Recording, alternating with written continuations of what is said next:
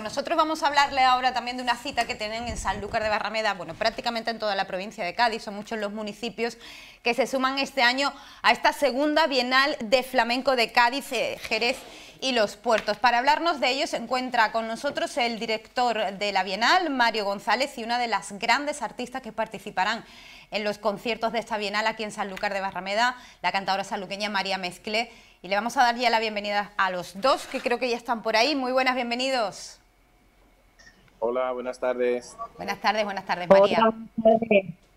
Bueno, pues encantada de saludaros a los dos. Vamos a comenzar con Mario, vamos a conocer un poquito en qué consiste este programa de la segunda Bienal. Mario, si te parece, porque eh, comenzaba en el año 2019 en Jerez, eh, pero la pandemia, bueno, pues el año pasado nos dejaba sin Bienal, este año, bueno, pues podremos disfrutar, como decimos, de una Bienal mucho más amplia, ¿no, Mario? Pues sí, así es. En esta segunda edición, además dedicada al maestro Alonso Núñez Rancapino, natural de Chiclana, de la frontera, la, segunda bienal de, flamenco, pues como tú bien anunciabas, eh, se amplía, son siete las localidades, siete los ayuntamientos que en esta segunda edición forman parte de, este gran evento de, la provincia, ¿no? en concreto son Jerez, con la que inauguramos el próximo día 6 y a la, tenemos a la familia Rancapino y también como artista invitado a Paco Cepero y a Vicente Soto en los jardines de, la Atalaya.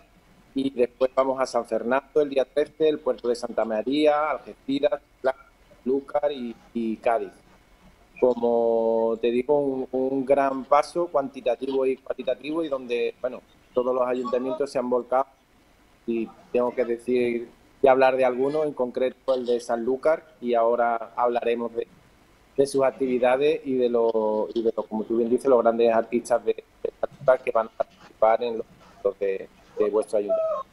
Mario, la dirección de la Bienal pensó que efectivamente el flamenco no se puede perder, ha pasado por unos malos momentos durante esta pandemia, son nuestras raíces, tiene que estar ahí. Y por eso supongo que habréis decidido ampliarlo a más municipios, municipios como por ejemplo Sanlúcar, que es eh, cuna también del flamenco, y Algeciras también.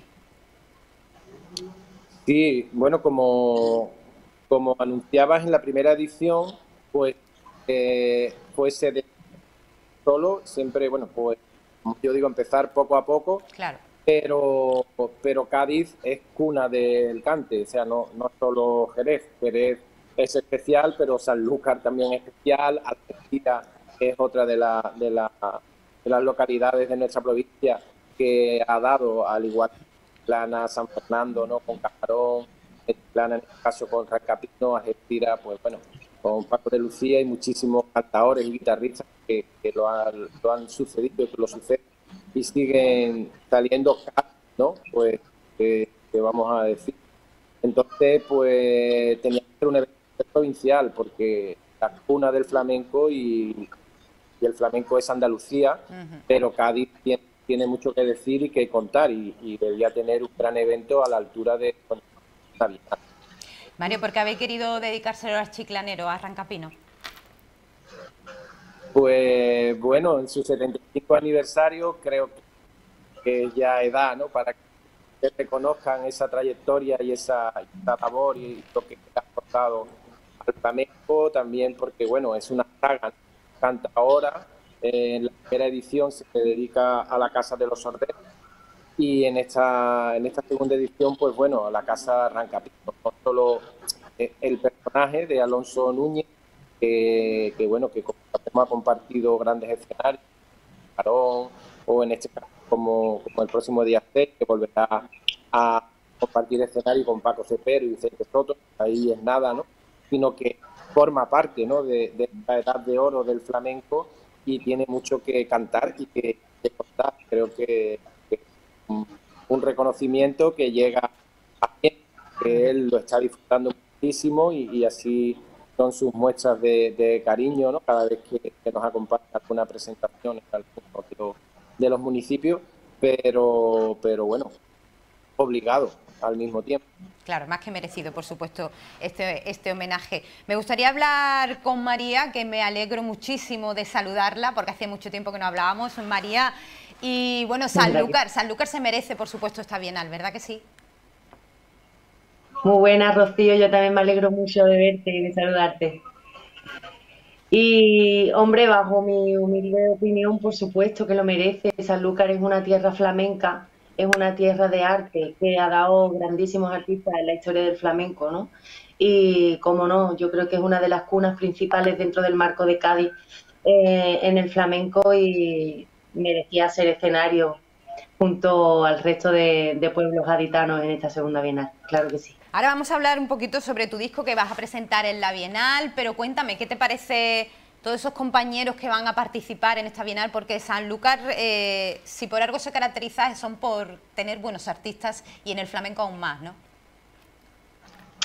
Pues sí, pues siguiendo el hilo de lo que te decía, además de haber dado grandes artistas en la historia hasta el día de hoy, desde finales del siglo XVIII, eh, yo creo que el flamenco vive muy buen momento y hablando de Sanlúcar en concreto, eh, lo reafirmo porque tenemos a artistas que llevan eh, la bandera del flamenco y de nuestra tierra por el mundo como Nike Ponce, no quiero que se me olvide nadie, inventar nombre ya y meterse en camisa de once varas porque somos muchos, pero bueno, de los que van a participar, ¿no? Pues por ejemplo Nike Ponce, eh, Miguel Villegas, Em, en este caso también estarán con nosotros Alba Bazán y Amara Román.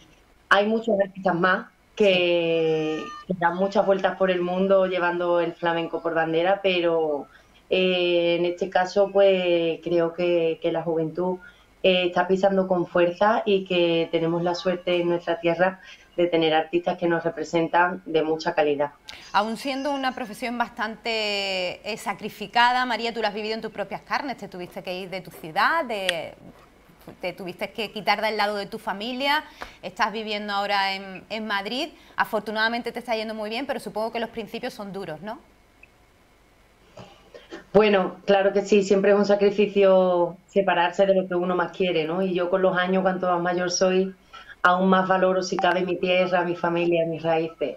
Pero bueno, hoy con el Albiano es como cuando la compañía de Manolo Caracol y Las Flores que, que tardaban un día prácticamente ¿no? en llegar a Madrid. Hoy con el tren, gracias a Dios, estamos cerquita y muy rápido y hay que mirar siempre lo positivo, ¿no? Yo me quedo con que, como se suele decir, de Madrid al cielo, ¿no? Madrid me ha dado muchísimo, me ha abierto muchísimo eh, me ha abierto muchas puertas y al mismo tiempo creo que me ha abierto mucho la cabeza a nivel eh, artístico, ¿no? A nivel musical, porque Madrid te da la oportunidad de, poder, rodearte de, todo tipo de músicos, de música, de, compañeros, porque al final siendo la capital, pues el centro por donde todo el mundo pasa.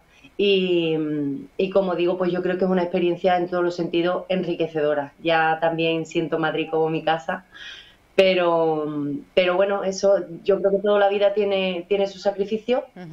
Siempre y cuando te compense y te haga feliz, pues bienvenido sea. Claro que sí. Eh, Mario, como decíamos, Sanlúcar será uno de los eh, uno de los municipios que mm, acoge la mayor parte de la Bienal. Vamos, van a estar eh, cuatro días aquí haciendo actividades, conciertos, va a haber programación, conferencias, es decir, bastantes actividades ¿no? dentro de la Bienal en Sanlúcar.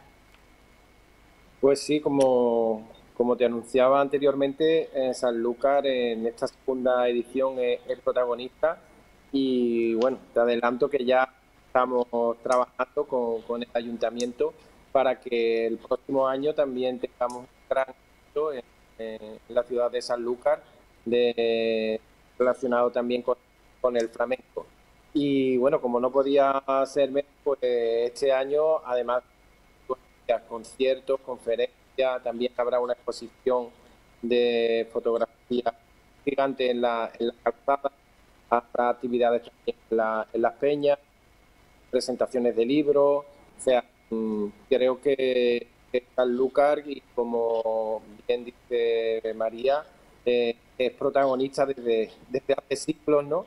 Con, con muchos artistas como, como Manolo Sanlúcar, al que también eh, reconocemos ahora en, en unos días el Festival Internacional de la Guitarra y que, y que sigue dando a jóvenes que con una proyección internacional. O sea que no, no podía ser de otra, de otra forma que Sanlúcar acogiera esta Bienal y que como te anuncio ya en primicia el año que viene, pues también hay nuevos proyectos para que Sanlúcar siga siendo protagonista. Esperemos que sí, me alegro, me alegro que nos lo digas. María, mm, actuarás el 26 de agosto, ¿no? Si no me equivoco, presentando tu disco Magenta y Cian, un precioso disco y compuesto íntegramente por ti.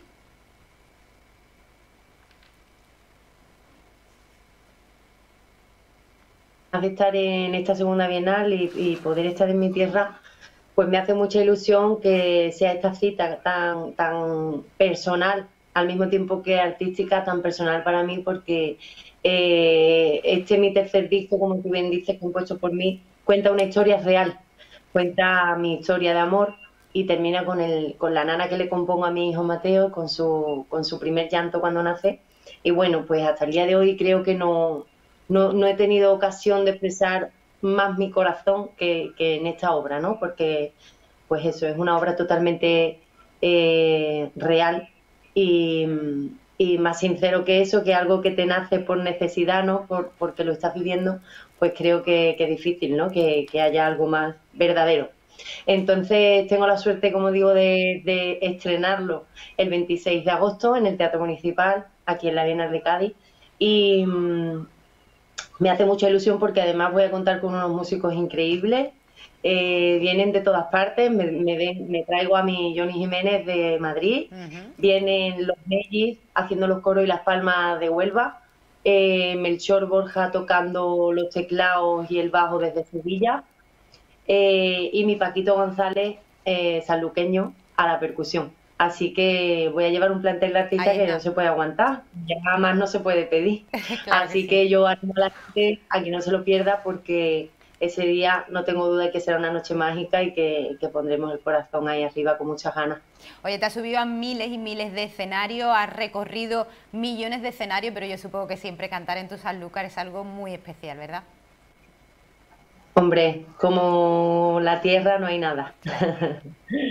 se va uno al fin del mundo y por más que sea el teatro más bonito, siempre se añora la tierra y, cantar aquí, pues que mejor que en tu casa, ¿no? Con tu familia y con tu gente eh, no hay nada que te pueda recompensar más y que te pueda dar más orgullo que cantar en, casa. En casa, claro que sí. María, hablamos al principio de que el flamenco ha pasado por eh, malos momentos, ha sido muy tocado durante esta pandemia. Cuéntanos, ¿cómo lo has vivido tú? Pues sí, por desgracia yo creo que la cultura, eh, bueno, creo, es un hecho, ¿no? ha sido uno de los sectores más golpeados y creo que le va a costar mucho recuperarse 100%. Eh, gracias a Dios estamos viendo ahora la luz, pero ha sido un año muy duro para todos los que nos dedicamos a esto por necesidad, mm, no solo como medio de vida, ¿no? sino me refiero a una necesidad humana, a una necesidad, pues eso, vital, porque yo siempre digo que para mí cantar y el flamenco eh, es como comer, como respirar, ¿no? Yo lo necesito en mi día a día, si no, no sería yo, si me moriría. Entonces ha sido muy duro que te quiten de golpe algo que tú necesitas expresar. Y, bueno, pero bueno, yo creo que todo eso al final se transforma, ¿no? Cuando amas de verdad lo que haces, pues por alguna vía te, te, tienes que reinventar y, yo creo que a todos nos ha servido mucho para valorar muchísimo más eh, nuestra idiosincrasia, nuestro, nuestros ratos, ¿no? Yo ahora cuando tengo un ensayo o veo a mis compañeros, pues la verdad es que, me sabe a gloria aún más porque lo he echado muchísimo de menos, ¿no? Y, también, pues como digo, creo que nos ha servido a todos para canalizar, por otro lado, eh, esa necesidad de transmitir, ¿no? Pues algunos componiendo, otros hemos hecho vídeos desde casa, eh, nos hemos inventado, eh, yo qué sé, colaboraciones con otros compañeros que quizás eh, en, el día a día, cuando la vida va tan rápido, no te da tiempo ni a pensarlo, ¿no? y, bueno, siempre está bien pararse y mirar un poquito hacia adentro y, valorar aún más lo que tenemos, porque yo creo que todo el que se dedique a lo que le gusta es un privilegiado, ¿no? Al, menos así me siento yo. Así que nada, después de un año duro y de haberlo echado mucho de menos, ahora disfrutando al máximo cada momento que, es como caído del cielo. Claro que sí. Oye, ¿cómo se presenta el verano, además de esta bienal? ¿Qué tienes? Pues mira, yo he venido teniendo, gracias a Dios, muchas citas bonitas. La última fue en el Teatro Real junto a, al maestro Farruquito, que fue una noche inolvidable. Y ahora, Rocío, estoy de vacaciones, eh, disfrutando a la familia en mi tierra, eh, aprovechando a llenarme de energía y, a cargar las pilas para darlo todo el 26, es la próxima cita que tengo. Y, luego en septiembre hasta, hasta febrero del año que viene, ya si Dios quiere, no paro cuando subo a Madrid. Así que el 26 de agosto me va a servir como pistoletazo de salida para volver a coger la vuelta al cole con, con, muchas ganas. Claro que sí, claro que sí. Bueno, pues a mí solo me queda pedirle a Mario que invite a todos los que nos están viendo, Mario, a que disfruten de esta segunda Bienal, que como decimos comienza el próximo 6 de agosto. Ya están a la venta las entradas, ¿no es así? Así es. Pues bueno, eh, invitar a, a, todo, a todos los aficionados de, la provincia y, a todos los, que nos visitan en este mes de agosto, que son muchos desde, desde todas las partes del mundo. La segunda Bienal de Flamenco de Cádiz, Jerez y Los Puertos, además como, como anunciábamos con artistas de, de este año, como, como bien a María, ha sido un año complicado para todos los que nos dedicamos flamenco, no solo para los artistas, sino para los técnicos de luz, de sonido, para todos los que trabajamos en producción. Así que en esta segunda bienal pues hemos querido tirar de, ahí, de, esa, de esos artistas que son muchos de la provincia y en Sanlúcar eh, tendremos buena muestra de, de ello. Y, las entradas están a la venta en ticketentradas.com. Y bueno, pues pedirle a todos los aficionados, tanto de la provincia como de fuera, en la página web, ahí tienen toda la información, bienalflamencocadiz.com, puntos de venta, espacios, horarios, artistas que participan en, cada municipio y, bueno, que es el momento pues de, estar más unidos que nunca, donde la cultura y en este caso el flamenco más, necesita de, de ese apoyo. Claro que sí. Mario, María, un millón de gracias. María, disfrutar de tu tierra y de los tuyos. Muchas gracias a los dos. Gracias a vosotros. Yo no me quiero despedir sin darle las gracias a Mario. Mario, gracias por tu labor, eres un fenómeno. Gracias por contar con nosotros, por hacer esto realidad. Gracias María, a vosotros. Siempre. Muchas gracias a los dos. Un beso muy grande.